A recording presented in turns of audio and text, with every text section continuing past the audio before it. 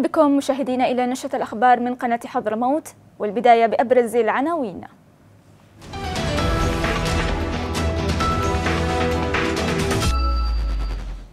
لجنة الطوارئ برئاسة رئيس الوزراء تتابع تطورات الوضع الوبائي لفيروس كورونا وما يمكن اتخاذه من إجراءات.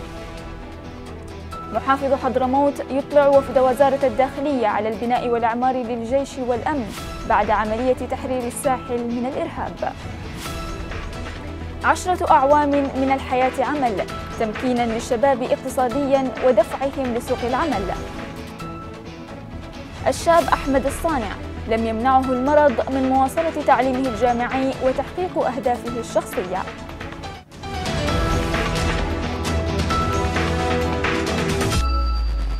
من جديد أهلا بكم.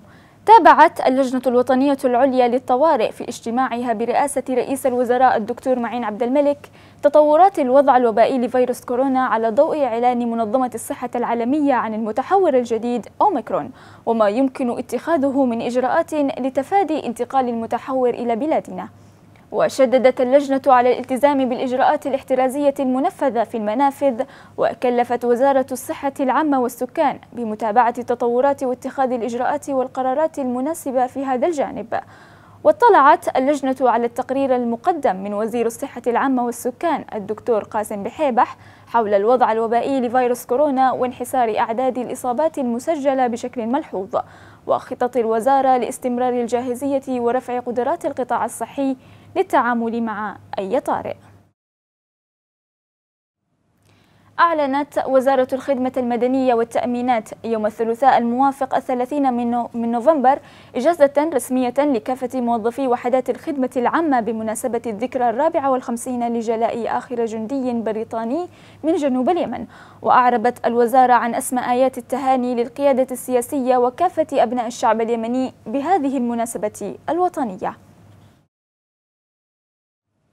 التقى محافظ حضرموت قائد المنطقة العسكرية الثانية اللواء الركن فرس سالمين البحسني بمدينة المكلا مدير عام التوجيه المعنوي والعلاقات العامة بوزارة الداخلية العميد عبد القوي باعش والوفد المرافق له. واطلع المحافظ البحسني وفد وزارة الداخلية على الأضرار التي خلفها تنظيم القاعدة الإرهابي إبان سيطرته على ساحل حضرموت في مقر قيادة المنطقة العسكرية الثانية والتدمير الممنهج لمؤسسات وقطاعات الدولة خصوصا أجهزة الجيش واليمن والأمن. وفي ذات السياق قام محافظ حضرموت ومعه وفد وزارة الداخلية بزيارة إلى مبنى المستشفى العسكري وأطلعهم على سير التجهيزات الأخيرة لافتتاح المستشفى. وطافوا بمباني وأقسام المستشفى التي تضم أقسام الطوارئ والعمليات الصغرى والترقيد والعناية المركزة والعيادات الخارجية وكذا أقسام العمليات والوحدة التشخيصية والأشعة والمختبر. بدوره أعرب العميد عبد القوي باعش عن إعجابه بما عمل في حضرموت في الجانبين العسكري والأمني. مثنيا على الجهود التي قامت بها السلطة المحلية في إعادة البناء والتأهيل لكافة ما تم تدميره من قبل تنظيم القاعدة الإرهابي.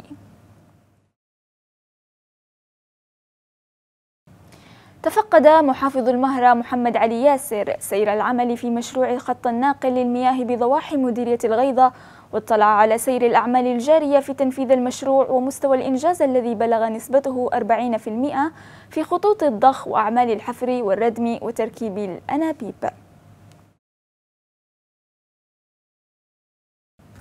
نظمت كلية التربية بمحافظة شبوة حفلا توديعيا وتكريما لطلاب من الكلية بمساق البكالوريوس للعام الدراسي 2020-2021 والبالغ عددهم 135 طالب وطالبة موزعين على كافة الأقسام الدراسية العاملة بالكلية.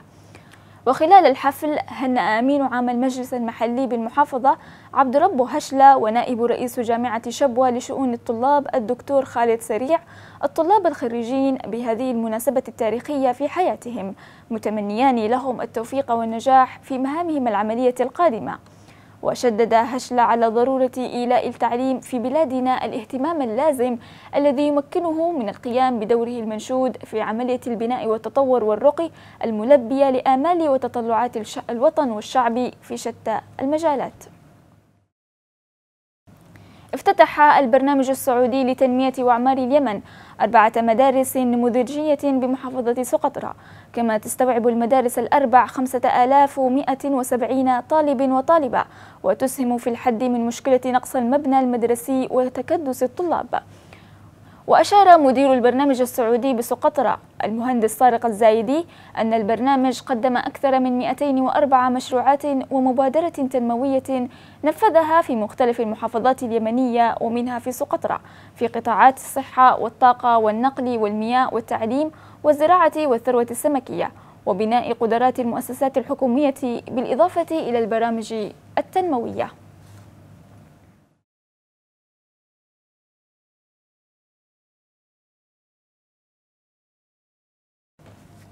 انتزع مشروع مركز الملك سلمان للإغاثة والأعمال الإنسانية مسام 18 عبوة ناسفة كانت ميليشيا الحوثي قد زرعتها في مركز صحي وخزان مياه بمنطقة الضاحية التابعة لمديرية الخوخة بمحافظة الحديدة. وأكد قائد الفريق 26 المهندس سامي سعيد نزع عشر عبوات من فناء ومحيط المركز الصحي بمنطقة الضاحية وثمانية عبوات ناسفة من خزان المياه في تلك المنطقة. جرى بمدينة سيئون حفل تكريم المشاركين في برنامج الحياة عمل بنسخته العاشرة الممول من مؤسسة حضرموت تنمية بشرية. بعد أشهر قضاها المشاركون بين أجندة الدورات التدريبية والتأهيلية لتخريجهم لسوق العمل وتمكينهم اقتصاديا بما يحقق لهم اكتفاء ذاتيا وتوفير دخل مادي. المزيد من التفاصيل في سياق التقرير الآتي. تسعة أعوام في مجال تحسين سبل العيش. عاشرها تخريج هؤلاء من برنامج الدورات المهنية الحياة. عمل بنسخته العاشرة لأن الإنسان محور الاستثمار بحفل فني وتكريمي شهدته السلطة المحلية بوادي حضرموت. تقدم بالشكر لراعي هذه المؤسسة وممونها وقوام من قوامات هذه المؤسسة الشيخ أبو فيصل عبد الله بن على اهتمامه بأبنائنا في حضرموت عامة لينخرطوا بهذه الدورات في مجال سد الفجوة الاحتيائي في وادي حضرموت. ساهم هذا البرنامج باقتلاع آفة البطالة عن أكثر من ألفي مستفيد بداخل محافظة حضرموت عبر حزمة من البرامج والدورات المهارية والحياتية تكسبهم لقمة العيش وتمنع عنهم البطالة وحمايتهم من الانزلاق نحو التطرف والمظاهر المنحرفة. ونفخر فعلا ونعتز به. نحن في مؤسسة حضرموت البشرية آه، عدد المستفيدين من برنامج الحياة عمل في نسخة العاشرة 103 مستفيد وبهذا يكون إجمالي عدد المستفيدين من برنامج الحياة عمل في جميع النسخ العشر.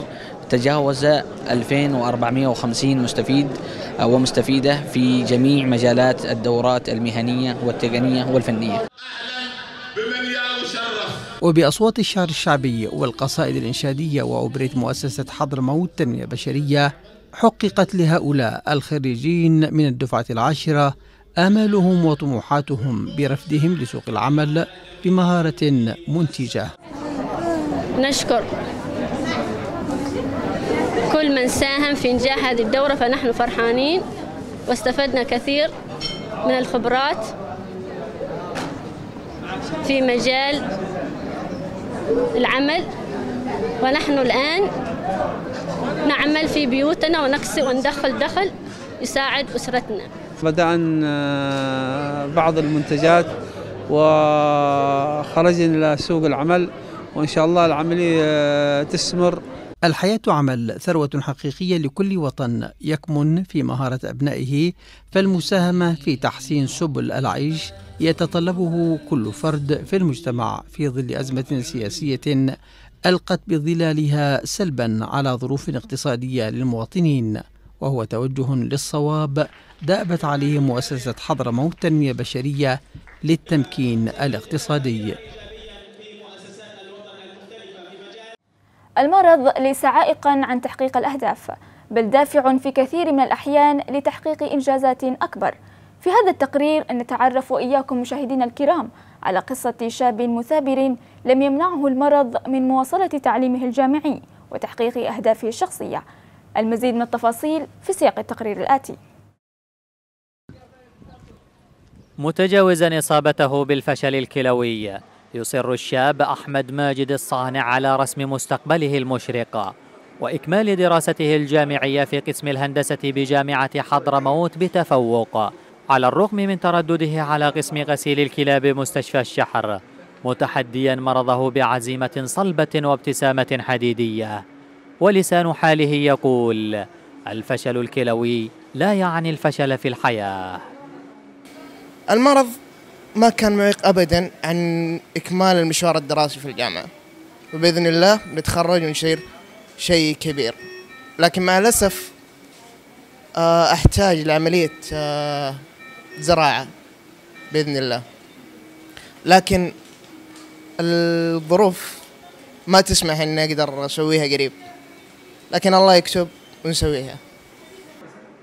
الشاب أحمد الصانع يطمح أن يعيش حياته بشكل طبيعي ويتوجه إلى معترك الحياة العملية بعد التخرج ويجري عملية زراعة الكلى التي لا يستطيع تحمل تكاليفها الباهظة. فهو بحاجة إلى من يقف بجانبه من أصحاب الأيادي البيضاء والمساهمة في طي صفحة المرض بشكل نهائي والتوجه نحو بناء مستقبله وتحقيق أهدافه. أحمد ماجد صانع هو أحد الطلاب المجتهدين في دراسته فلم يمنعه المرض من استكمال دراسة وهو أمام مستقبل كبير بحكم أنه بحكم أنه طالب هندسة. يعيش أحمد ماجد صانع حياته الطبيعية فهو بحاجة إلى زراعة كلى في آه، في الدول الخارجية. بحكم أن تكلفة العملية باهظة فهو لا يستطيع أن إجراء العملية. استشعارا للدور الإنساني لمركز الكلية الصناعية بمستشفى الشحر العام.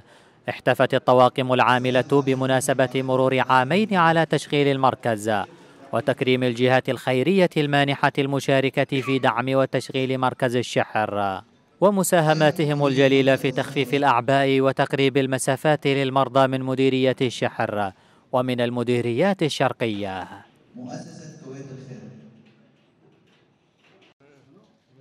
آه، المركز آه، كان يحوي على سبع مكاين ب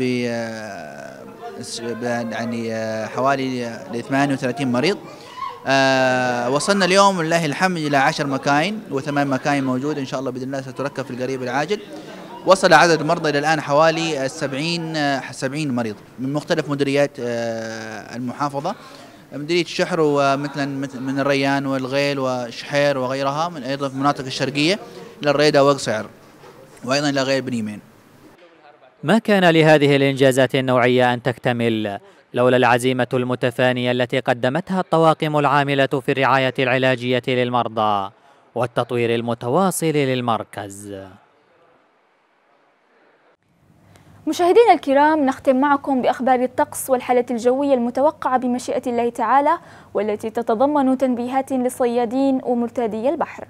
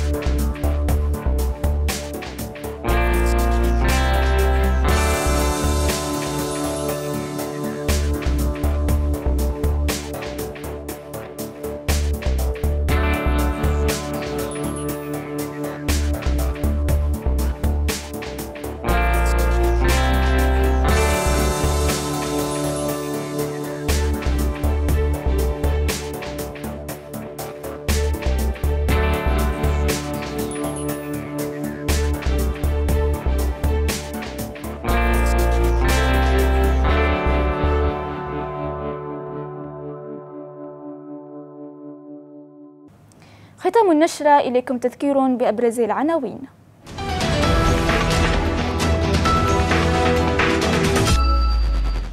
لجنة الطوارئ برئاسة رئيس الوزراء تتابع تطورات الوضع الوبائي لفيروس كورونا وما يمكن اتخاذه من إجراءات.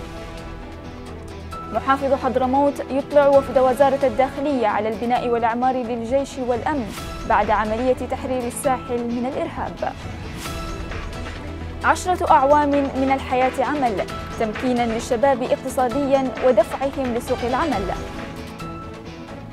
الشاب أحمد الصانع لم يمنعه المرض من مواصلة تعليمه الجامعي وتحقيق أهدافه الشخصية.